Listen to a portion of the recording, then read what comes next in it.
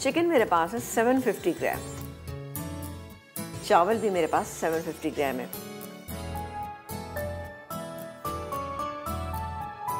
Three fourth cup oil डालूँगी ठीक है? पिसी हुई प्याज है पिसी हुई प्याज. एक बड़े साइज़ की प्याज आप ले लीजिएगा.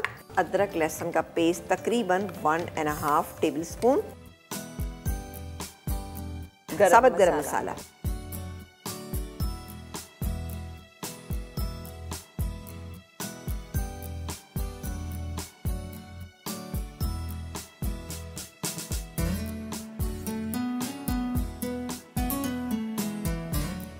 ग्रीन चिली पेस्ट सात आठ है सात आठ हरी मिर्ची थी इसको हमने पीस लिया। बस।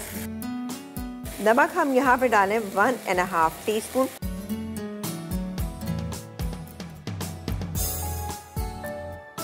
white pepper powder तकरीबन one and half tea spoon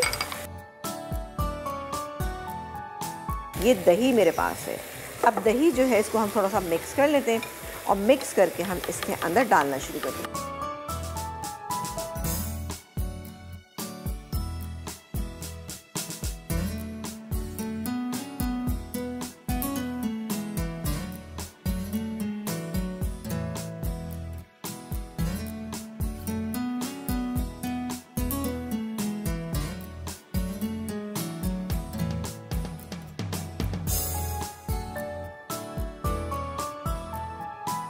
अब मैं इसमें शामिल करने जा रही हूँ ये आलू, ये गई साबुत लाल मिर्चें, जायफल जावित्री का पाउडर, लेमन जूस,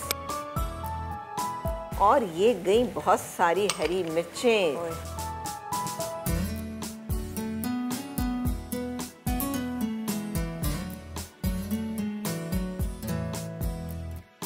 थोड़ा सा पानी।